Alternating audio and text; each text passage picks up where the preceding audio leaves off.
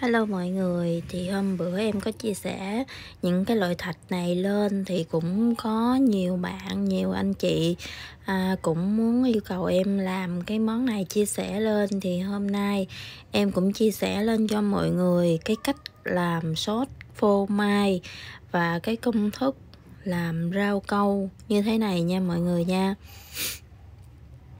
Đây là cái sốt phô mai chải đó thì khi mình cho cái nhân vô á, thì cái uh, nhiệt độ mà lạnh hay là nhiệt độ thường thì nó vẫn chảy nha mọi người. Đó đây là em làm uh, vị à, uh, sô cô la rồi uh, vị uh, uh, màu blue á mọi người và màu trắng. Đó rau câu á rau câu mình pha vị thôi và em cũng sẽ chia sẻ cái cách mà mình nấu rau câu luôn cho mọi người tham khảo nha và đây là cái món này em cũng đang kinh doanh luôn. Nên là bây giờ thì mọi người cũng cần, cho nên là thôi, em làm, em chia sẻ cho mọi người luôn nè. Thì à, công thức em nghiêm lên màn hình tất cả cái nguyên liệu em ghim lên màn hình và mà mọi người sẽ cho vô trong cái cái thao như thế này. Thao cái nồi gì đó thì mọi người sẽ quậy cho thật đều, cho tan ra. Rồi sau đó thì mình sẽ lọc qua rây nha. Đó, mình sẽ quậy đều và tan ra hết. Rồi mọi người mới lọc qua rây tại vì nó có bột bắp đó mọi người, cho nên bột bắp với là bột mì nữa, cho nên là mình phải quậy cho tan nha. Đó.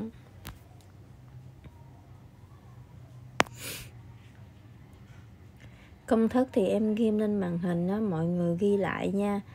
Đó. Và sau khi mình quậy tan rồi thì mình sẽ lọc qua rây đó, mình sẽ dùng cái chày silicone đó mình sẽ ép cho nó ra cho nó hết luôn nha đó, rồi mình quậy thì sau khi mà mình quậy đều quậy tan ra rồi á thì mọi người sẽ để ở đây.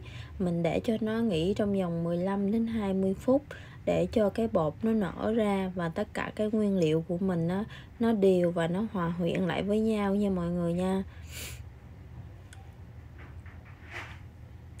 Và sau 15 20 phút thì mình sẽ bắt lên bếp mình sẽ sên mình sên cho nó mình sên với lửa nhỏ nha mọi người. Lửa nhỏ từ từ từ từ á, khi nào nó sôi lên như thế này nè mà mình thấy cái độ sệt nó vừa nó vừa sệt sệt lại mình nhớ là phải nhỏ lửa nha để không nó bị khét lúc nào mình cũng phải đảo như thế này hết á nha đó mình cứ sơn sơn. Khi nào mà mình thấy mình đừng có sơn quá khô nha mọi người. Khô á, thì nó sẽ cứng làm cho cái sốt của mình nó cứng. Mình thấy nó hơi chảy sệt sệt là được nha. Đó lúc này nó cũng gần như được rồi nè mọi người. Nó gần như được luôn rồi đó. Và sau khi mà mình sơn xong á thì mình sẽ để cho nó nguội hoàn toàn. Rồi mình mới uh, mình sử dụng cái bao tam giác á mọi người. Mình sử dụng cái bao tam giác để mà mình cho vô túi tam giác nha. Đó, em chỉ nấu cho nó sệt như thế này thôi. Em không nấu quá cứng nha mọi người. Nấu cứng quá nó không có ngon. Nó làm cho cái sốt mình cứng quá nó không ngon nha. Đó, mình phải để cho nó nguội. Nguội thiệt là nguội rồi mình mới cho vô cái túi tam giác. Em có nhiều sốt lắm thì à, từ từ em sẽ chia sẻ hết những cái công thức sốt lên cho mọi người tham khảo và mình coi mình hợp với lại cái loại sốt nào thì mình làm nha. À, rất nhiều luôn sốt matcha sốt phô mai con bò cười rồi sốt cacao sốt oreo sốt phú sĩ. Nói chung là nhiều loại sốt lắm. Thì à, mọi người đợi em nha. Em cũng sẽ ra từ từ từ từ để mọi người tham khảo. Thì à, những cái loại sốt này thì nó đang trend nè. Và hầu như khách cũng khá là thích luôn á. Nên là em à, thấy mọi người cũng đang rất là cần luôn. Nên cũng chia sẻ luôn để mọi người cùng làm, cùng kinh doanh với em luôn nha. Nói chung là kinh doanh quán mà. Hiện thời điểm nào và những cái loại nào nó đang trên thì mình cập nhật xu hướng mới để cho cái quán của mình nó nó có thể là có một chút sắc màu mới để thu thu hút khách hơn, đúng không mọi người? Em thì đa phần là khi có cái trend gì mới hay là những cái gì mới em đều tham khảo hết và học hỏi.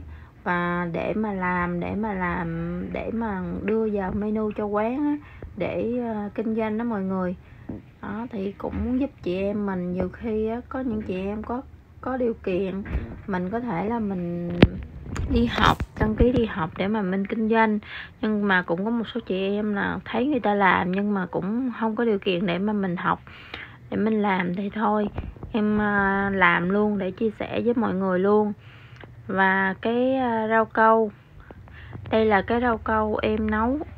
Và cái công thức thì em cũng sẽ ghim lên màn hình như thế này để mọi người tham khảo à ra cách nấu rau câu thì mình cứ là cho nước sôi rau câu trộn với đường rồi mình nấu thôi. Rất nhiều clip chia sẻ về rau câu rồi.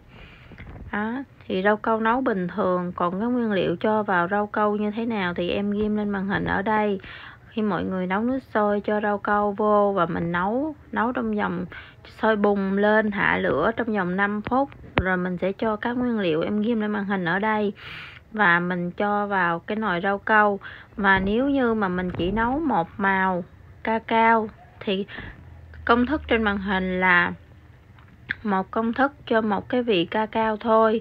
Còn nếu như mà mấy anh chị muốn mà mình pha thêm vị á, thì những cái nguyên liệu em ghim lên đây, ngoại trừ ca cao, thì mọi người không bỏ ca cao mà mình cho là siro siro vị này, vị kia, mình thích vị nào mình cho vị đó nha mọi người đó đó là cái cách nấu rau câu.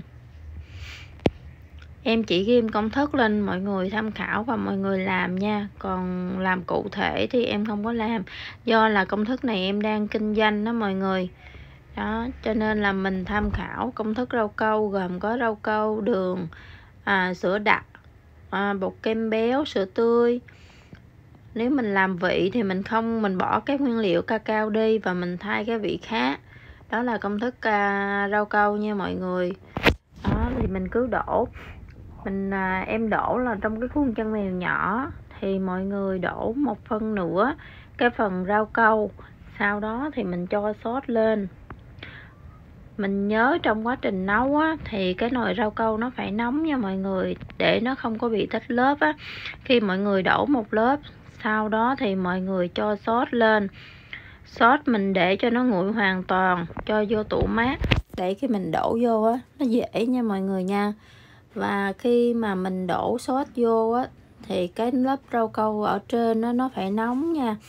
Thì nó sẽ không có tách lớp cái phần à, à, rau câu ở dưới. Còn nếu như mà cái phần rau câu ở trên nó nguội á nó sẽ bị tách lớp nha mọi người. Nên mọi người nhớ nha rau câu lúc nào cũng phải nóng hết thì nó sẽ không có bị tách lớp. Đó thì em cũng muốn là làm à, có nhiều chị inbox hỏi em rất là nhiều mà do đây là công thức kinh doanh nữa em đang kinh doanh nữa nhưng mà thôi chiều lòng mọi người để mà chia sẻ với mọi người luôn. Rồi cảm ơn mọi người nha. Nhớ đăng ký kênh của tôi nha.